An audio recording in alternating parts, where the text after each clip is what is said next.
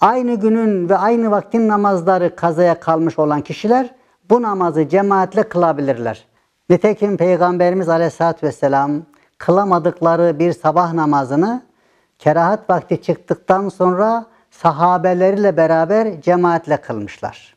Fakat farklı farklı vakitlerin namazları olursa bu şekilde cemaatle kılamazlar. Ayrı ayrı herkes tek başına kılması gerekir.